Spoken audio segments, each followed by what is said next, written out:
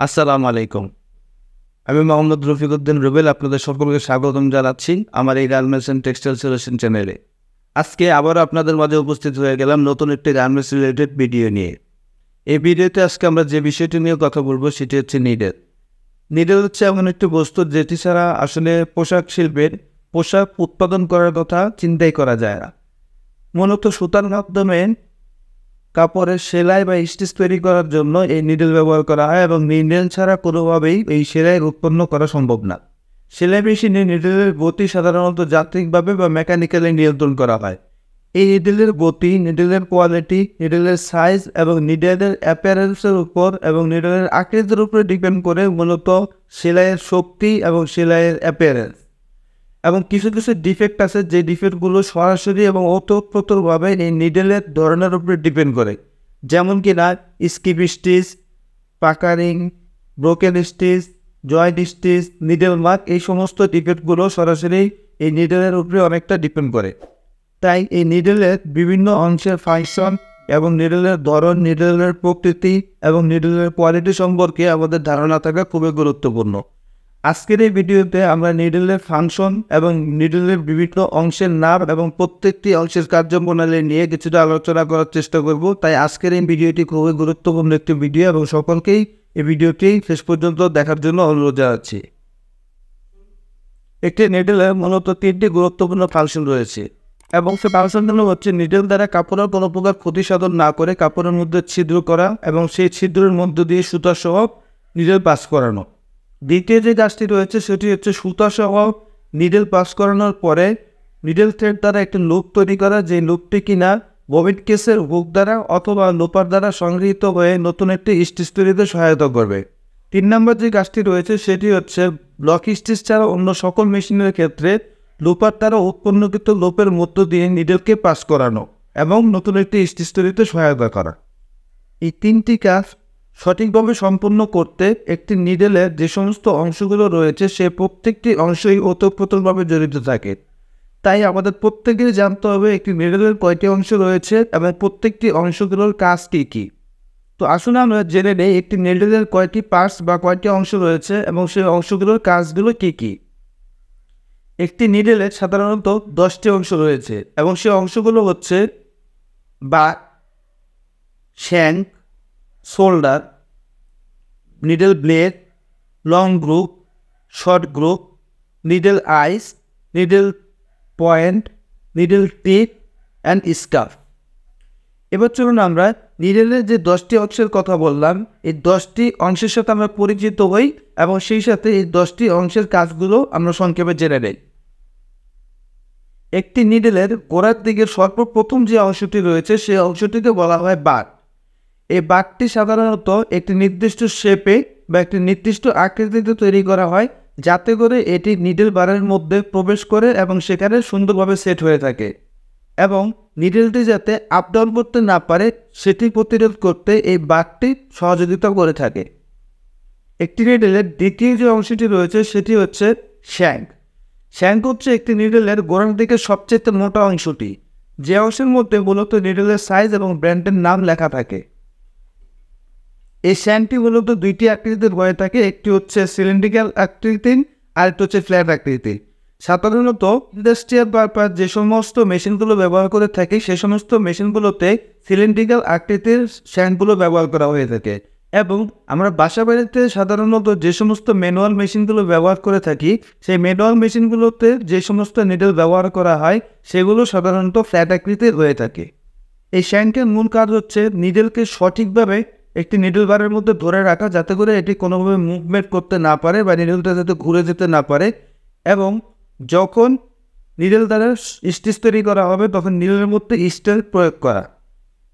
নিডেলের তিন নম্বর যে অংশটি আছে সেটি হচ্ছে শোল্ডার এই নিডেলের শ্যাং থেকে ধরে নিডেলের ব্রেড পর্যন্ত যে অংশটি রয়েছে সেই অংশটিকে বলা হয়ে থাকে শোল্ডার এই শোল্ডার সাধারণত কনিক আকৃতির হয়ে থাকে এবং এটি রেডের প্রস্থ থেকে ধরে ক্রমান্বয়ে বাড়তে বাড়তে শ্যাঙ্গের প্রস্থ পর্যন্ত উঠে থাকে এবং এই শোল্ডারের মূল কাজ হচ্ছে যখন একটি নিডেল কাপড়ের মধ্যে ছিদ্র উৎপন্ন করে এবং ছিদ্র উৎপন্ন করার পর সুতা সহ নিডেলটি যখন কাপড়ের ভিতর দিয়ে পাস হয়ে এই নিডেলটি সর্বনিম্ন স্তর পর্যন্ত পৌঁছায়, তখন এই শোল্ডারটি ওই ছিদ্রের মধ্যে কিছুটা অংশ প্রবেশ করে এবং ছিদ্রটিকে একটু বড় আকৃতি প্রদান করে। যার ফলে নিডেলটি যখন সুতা সহ আবার ফিরে আসতে চায়, তখন ওই নিডেল এবং সুতার মধ্যে কাপড়ের ঘর্ষণ কম লাগে, যার ফলে সুতা ছেঁড়ার হার কমে যায়। নিডেলের চার নম্বর যে অংশটি রয়েছে, সেটি হচ্ছে নিডেলের ব্লেড এই নিডেলের ব্লেড হচ্ছে একটি নিডেলের সবচেয়ে বড় অংশ। এই শোল্ডার থেকে ধরে একদম নিডেলের আই বা নিডেলের ছিদ্র পর্যন্ত যে অংশটি অংশটিকেই বলা হয়ে থাকে ব্লেড এই ব্লেডের ওয়েটের উপরে ডিপেন্ড করে একটি নিডেলের সাইজ নির্ধারণ করা হয় এবং একটি সেলাই তৈরি করতে হলে সেলাই কাজের ক্ষেত্রে সর্ব, সবচেয়ে বেশি পরিমাণে ঘর্ষণ এই ব্লেডের উপরেই লাগে। নিডেলের পাঁচ নাম্বার যে অংশটি রয়েছে সেটি হচ্ছে লং গ্রুপ লং গ্রুপ হচ্ছে একটি নিডেলের ব্লেডের মধ্যে খাস কাটা থাকে যেটি কিনা শোল্ডার থেকে ধরে নিডেল আই পর্যন্ত বিস্তৃত থাকে। এই লং গ্রুপের কাজ হচ্ছে যখন একটি নিডেল দ্বারা সেলাই উৎপন্ন করার সময় একটি ছিদ্র তৈরি করা হয় এবং সেই ছিদ্রের মধ্য দিয়ে সুতা সহ যখন একটি নিডেল পাস হয়, তখন ওই সুতাটি এই লং গ্রুপের মধ্যে অবস্থান করে। যার ফলে এই নিডেলটি যখন ওই ছিদ্রের মধ্যে দিয়ে যাতায়াত করে, তখন এই সুতার মধ্যে ঘর্ষণ কম লাগে বা ঘর্ষণ লাগে না, যে কারণে সুতা ছেঁড়ার হার কমে যায় বা সুতা ছিঁড়ে না বা সুতা সেক থাকে। একটি নিডেলের ছয় নম্বর যে অংশটি রয়েছে, সেটি হচ্ছে শর্ট গ্রুপ শর্ট গ্রুপ হচ্ছে একটি মেশিনের নিডেলের যে পাশে ববিন কেসের হুক অথবা লুপার থাকে, ঠিক সেই পাশে এই শর্ট গ্রুপটি অবস্থান করে। এবং এই শর্ট গ্রুপটি সাধারণত নিডেল আইসেন বা নিডেলের ছিদ্রের কিছুটা উপরে এবং নিচে বিস্তৃত থাকে। এবং এটি যখন নিডেল সর্বনিম্ন অবস্থানে পৌঁছায়, তখন নিডেল থ্রেড দ্বারা যে লুপের কথা বলেছিলাম একটু আগে, সেই লুপ তৈরিতে এই শর্ট গ্রুপটি সহায়তা করে এবং স্টিচ তৈরিতে সহায়তা করে। একটি নিডেলের সাত নম্বর যে অংশটি রয়েছে, সেটি হচ্ছে নিডেল আইস বা নিডেলের ছিদ্র।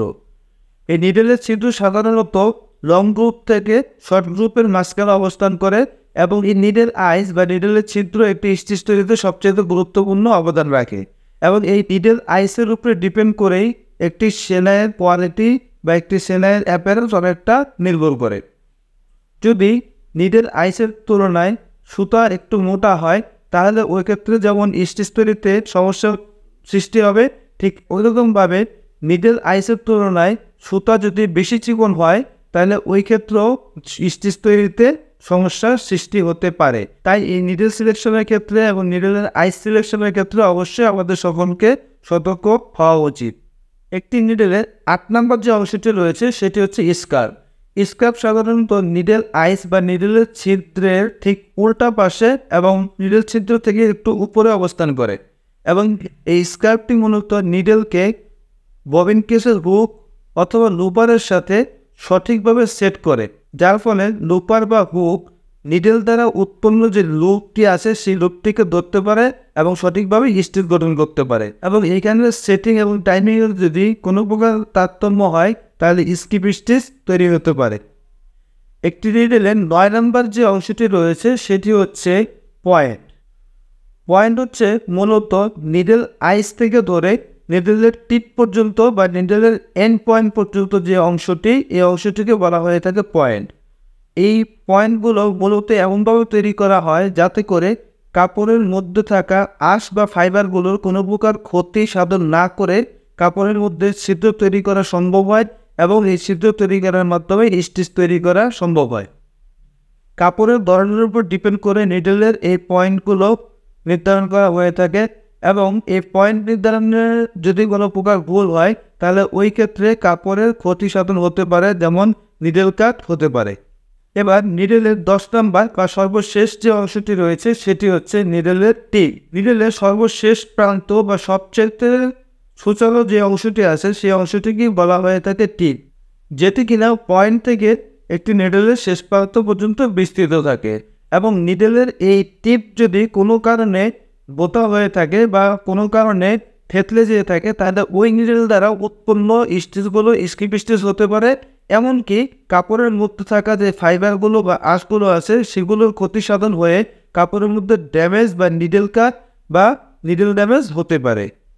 তো আজকে আমরা এই ভিডিওতে মূলত একটি নিডলের যে দশটি অংশ আছে, সেই দশটি অংশ নিয়ে আলোচনা করলাম এবং সেই সাথে এই দশটি অংশের কাজ নিয়ে আমরা আলোচনা করেছি। সো আশা করি আজকের এই ভিডিওটি আপনাদের ভালো লেগেছে এবং এরকম টেক্সটাইল রিলেটেড আরও গুরুত্বপূর্ণ ভিডিও পেতে অবশ্যই আমার চ্যানেলটি সাবস্ক্রাইব করে রাখবেন এবং পাশে থাকা বেল আইকনটি ক্লিক করে রাখবেন যাতে করে আমার আপলোডকৃত ভিডিওগুলো সর্বপ্রথম আপনার কাছে গিয়ে পৌঁছায়। আবার খুব দ্রুতই আপনাদের সাথে দেখা হয়ে যাবে গার্মেন্টস এবং টেক্সটাইল রিলেটেড নতুন কোনো গুরুত্বপূর্ণ ভিডিও নিয়ে সে পর্যন্ত সবাই ভালো থাকবেন, সুস্থ থাকবেন। আসসালামু আলাইকুম আহমতুল্লাহি ওবরাকাতুহ